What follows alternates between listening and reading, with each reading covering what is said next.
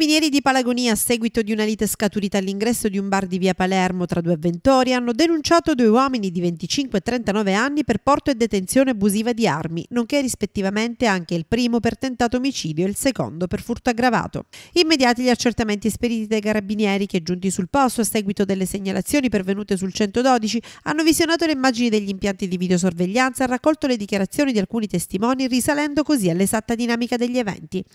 Tutto si è verificato nella tarda serata di ieri, intorno alle 22, quando il 25enne a bordo della sua Fiat Bravo si era fermato dinanzi al bar dove, dopo un breve scambio di battute con un altro cliente di 39 anni, era scaturita una lite. Dopo le parole, i fatti. Il diverbio è sfociato in uno scontro fisico tra i due, culminato con una coltellata sferrata dal più giovane al collo dell'altro. Quest'ultimo, solo grazie a un repentino movimento, è stato colpito solo di striscio, riportando comunque una vistosa ferita che però avrebbe potuto rivelarsi mortale se avesse leso la vena giugulare. Il ferito però è riuscito comunque a mettere in fuga il suo aggressore dopo aver rotto il lunotto posteriore della Fiat Bravo di quest'ultimo è salito a bordo e si è allontanato per poi abbandonare il mezzo in piazza Umberto I, dove lo stesso è stato ritrovato dal proprietario. Solo dopo alcune ore il 39enne si è recato sull'ospedale di Militello in Val di Catania dove i medici suturata la fetita gli hanno spiegato il grave pericolo scampato.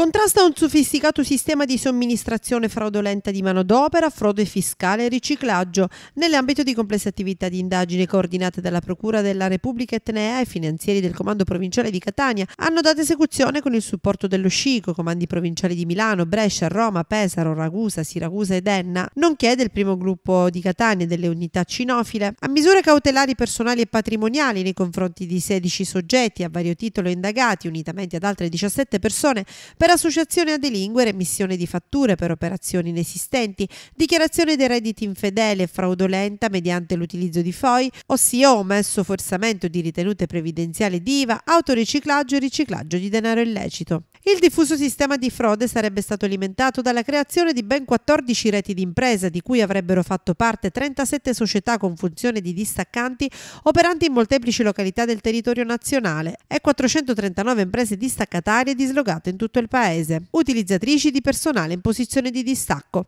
Nell'ambito di tali reti, caratterizzati da una regia unitaria in Catania, le società capofila avrebbero agito da meri serbatoi di manodopera e sarebbero state organizzate secondo le esigenze gestionali del sistema, il cui core business si sarebbe limitato esclusivamente a consentire il distacco dei lavoratori a scopo di lucro nei confronti di 439 società arretiste o distaccatarie. Dopo aver cumulato un debito tributario e contributivo significativo, inoltre sarebbero state sistematicamente periodicamente poste in liquidazione e sostenute da altre società che avrebbero assorbito i medesimi lavoratori, posti nuovamente in distacco a favore della stessa impresa beneficiaria.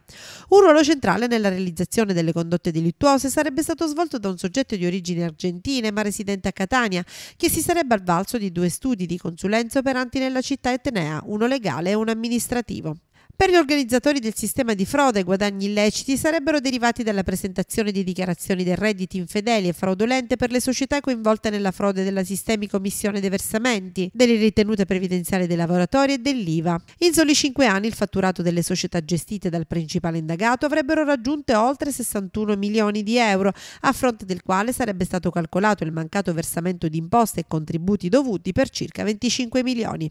Gli ingenti proventi di natura illecita sarebbero stati in parte reimpiegati verso specifiche società, in parte dirottati a favore del promotore del sodalizio e di altri indagati, anche attraverso una vorticosa movimentazione di denaro costante utilizzato per assicurarsi un tenore di vita molto elevato o per l'acquisto in diverse occasioni di beni di rifugio o di lusso per 270.000 euro. Sulla scorta delle evidenze acquisite dal nucleo operativo di Catania, il GIP Neo ha disposto la custodia cautelare in carcere nei confronti di cinque soggetti, gli arresti domiciliari per altri sette indagati, nonché il sequestro quote di 37 società di disponibilità finanziaria di beni immobili e immobili riconducibili ai destinatari della misura per un valore totale di circa 29 milioni di euro.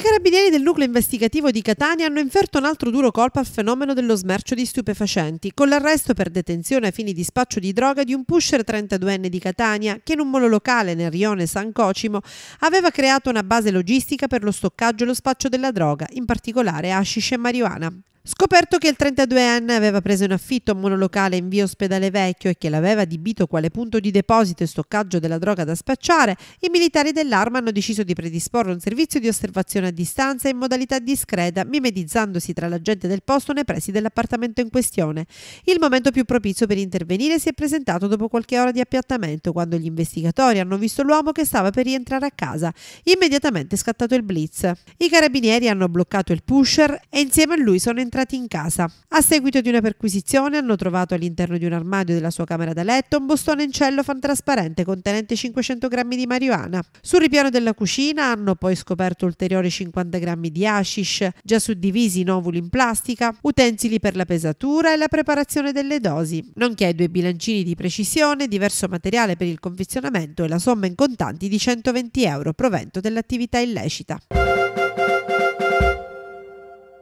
Agenti del commissariato della Polizia di Stato di Augusta hanno arrestato per il reato di detenzione ai fini dello spaccio di sostanza stupefacente un uomo di 38 anni che a seguito di una perquisizione domiciliare in una casa sita incontrata a Frandanese è stato trovato in possesso di 305 grammi di marijuana e di un bilancino di precisione. Nello stesso contesto operativo l'attenzione degli investigatori sarebbe stata richiamata da un rumore tipico di un sistema di areazione proveniente da un'abitazione poco distante. Gli agenti, insospettitisi del fatto che quest'ultimo immobile sembrava abbandonato e percependo tra l'altro un forte odore di marijuana, hanno effettuato una perquisizione che ha permesso di scoprire una serra con circa mille piantagioni di marijuana attrezzate con sistemi di ventilazione ed essiccazione, con ogni probabilità curata dallo stesso arrestato.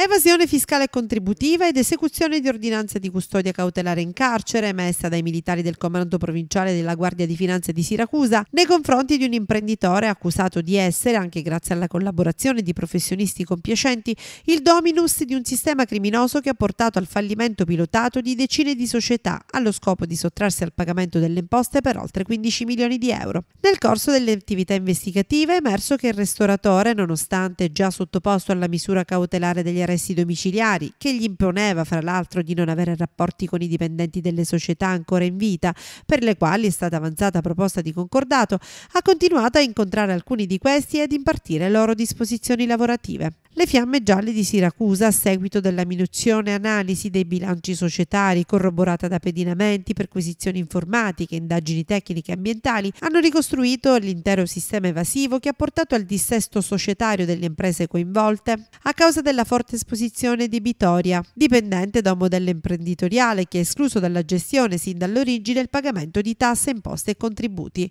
Lo schema sarebbe stato sempre lo stesso, si cambiava il nome della società, ma anche il luogo d'esercizio servizio, la tipologia di attività esercitata e il personale. Nella circostanza, per proteggersi da possibili aggressioni patrimoniali, la rappresentanza legale della società è stata fittiziamente attribuita a un soggetto di nazionalità straniera privo di esperienza nel settore della ristorazione. Il Tribunale Retuseo ha così emesso un primo decreto di sequestro preventivo di circa 3 milioni di euro nei confronti dell'indagato. In arrivo 65 milioni di euro per gli imprenditori agricoli in Sicilia. Lo prevede il bando per ottenere contributi dell'intervento, investimenti per l'agricoltura e per lo sviluppo socio-economico delle aree rurali, che riguarda il piano strategico PAC 2023-2027 pubblicato dal Dipartimento regionale sviluppo rurale dell'assessorato dell'agricoltura. Il finanziamento a valere su fondi FEASR statali e regionali è destinato a tutti quei soggetti pubblici e privati che intendono investire per realizzare, adeguare o ampliare la viabilità al servizio delle aree rurali o delle aziende agricole, con l'obiettivo di rendere maggiormente fruibili e attrattive queste porzioni di territorio spesso colpite dal fenomeno dello spopolamento.